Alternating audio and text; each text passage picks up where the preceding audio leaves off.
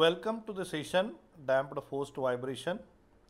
Uh, this is Mr. Chetan G. Konapure, Assistant Professor, Department of Civil Engineering, Walchand Institute of Technology, Solapur. Let us see the learning outcomes. At the end of this session, student will be able to idealize the structure as damped force vibration system. Student can draw a free body diagram of the system and uh, even they can write the equation of motion for damped forced vibration system. Now, damping which is involved in the system that is actually uh, viscous type of damping and it is the resistance against the velocity of the system. Now the decay in the amplitude of vibration after every cycle that decay is possible only because of damping involved in the system. Now the amplitude of vibration reduces after every cycle that is only possible because of the damping present in the system and the decay is also because of damping present in the system. These are few examples which are contributing damping in the system. These examples even I have explained in uh, earlier uh, video also. But uh, the main concept in these example is substantial amount of energy is dissipated in every example given above. So, let us see one example, uh, simple system. This is forced vibration system. The pendulum with uh, this is a mass which is attached with the inextensible string. Now it is uh, oscillating. Now force is present during the oscillation of the system. This is the first thing which is called as the forced vibration. Presence of the force or oscillation which is leading due to the force uh, time dependent force which is acting on the mass. Now after every cycle this pendulum uh, oscillation or displacement will reduce, reduce, reduce and it will come to the neutral position. So this neutral position is the vertical line. So after several uh, oscillations or cycles, the pendulum will, will return at the neutral position. How it is possible? This is possible only because of the damping present in the system. What is the damping in the system? That is friction with the air and this will reduce the amplitude of vibration after every cycle and it will come at neutral position. Now these are the idealization of structures concept and assumptions. Every physical system is a continuous system having distributed mass and elasticity. Assumption for idealization of structure always these assumptions are important and these are required to be made that the total mass of story is concentrated at its floor level. So which will give you give us lumped mass system. Girders in a building are infinitely rigid. Effect of axial forces are neglected now, these assumptions, how these are uh, useful that we will see in the next uh, case. Now, damped forced vibration. So, actual problem or real physical problem that is given here. This is a single story frame with infill wall and the total mass of this infill wall is lumped at floor level. So, that is why this uh, dark portion is shown here. This frame with infill wall is supporting one machine. This machine is reciprocating machine. So, the reciprocating type of motion is induced by this machine. Whenever this machine starts or vibrate whenever it uh, works, it induces the vibration and due to that the time dependent force is generated which is Ft acting on this structure with infill wall. Y is the displacement. Now, this single story frame which is supporting a reciprocating machine is subjected to the force which is a time dependent force. So, this is the problem of forced vibration. Okay. Now, this single story beam is now modeled as a lumped mass. You can see here this entire mass of the story that is m, it is lumped at the top, k is the stiffness which is representing these two columns y is the displacement. Now time dependent force is acting on this uh, mass, this is Ft. Now how it is converted into the conceptual model. So, so the mass that is represented by this wagon wheel, this is m. Now this mass on which Ft, the time dependent force is acting, K that is uh, stiffness that is represented by the spring and damping is represented by C. Now what is damping in this case? That is very important.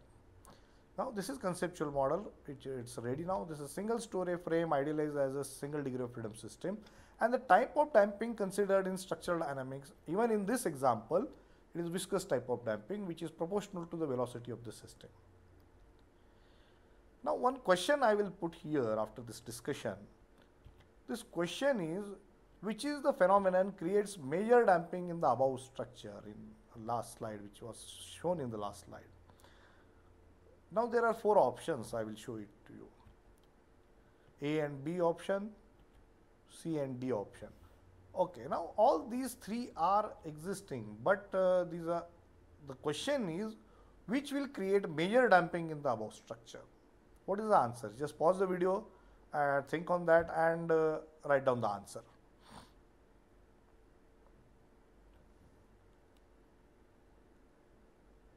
The answer is the interaction between infill wall and frame. This creates major damping in the above structure.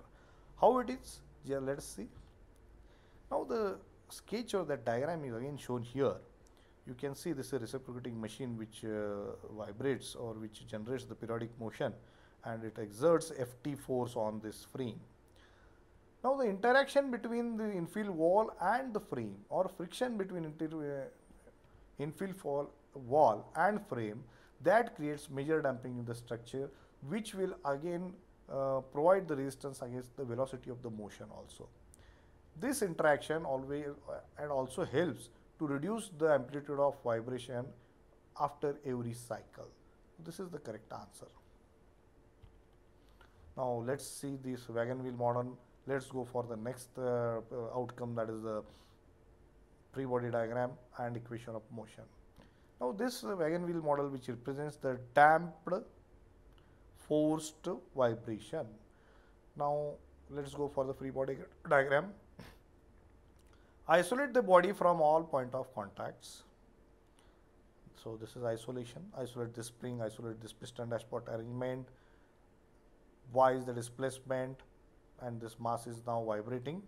Mark the forces at respective point of contact. So first is this elastic resistance, elastic force Ky next is this damping resistance cy dot and uh, whenever the mass or body is under motion one more force is there inertia force that is acting here now this is external force ft which is uh, towards right y is the displacement of mass y dot is the velocity of mass y double dot is the acceleration of the mass now this is actually the free body diagram of this mass now here the again equilibrium of the body is considered. Inertia force acts, acts always opposite to the direction of motion. My double dot elastic resistance is always the direction of displacement like ky. Cy dot is the damping resistance, damping force which is proportional to the velocity. Elastic force is also proportional to the displacement. Now these three are the resistances against this displacement direction. External force is Ft it is towards right, all resistances are towards left. So this figure dynamic explains dynamic equilibrium of the body. Now let us apply summation Fx is equal to 0 for this uh, body which is in dynamic mode. Now all these three resistances are towards left that's why negative and uh, Ft is actually positive that is on right hand side of this uh, this equation. Now small rearrangement is there. So this equation is my double dot plus ky plus cy dot that is equal to ft. Now this is the mathematical equation. Okay, what is the meaning of this mathematical equation? What it actually represents? Whenever a damped forced vibration system is subjected to motion, which is because of the time dependent force Ft, this is external force which is a time dependent force which is dynamic force also.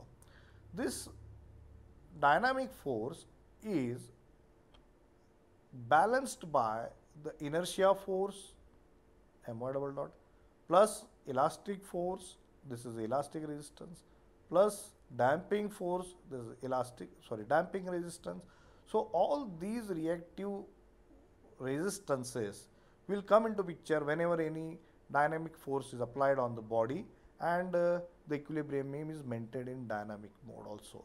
So, summation of inertia force, elastic force and damping force or resistances is equal to external dynamic force. Okay. Now, let us see this equation. Now, this equation is little rearranged. First is my double dot plus cy dot plus ky is equal to ft.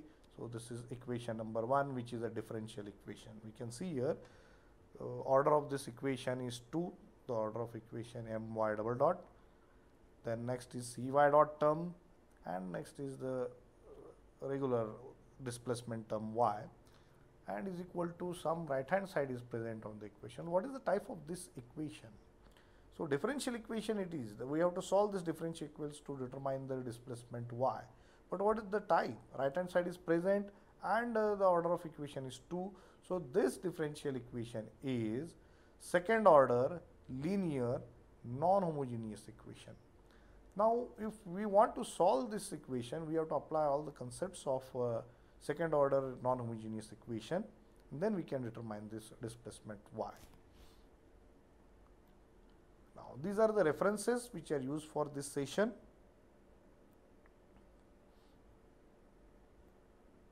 Thank you.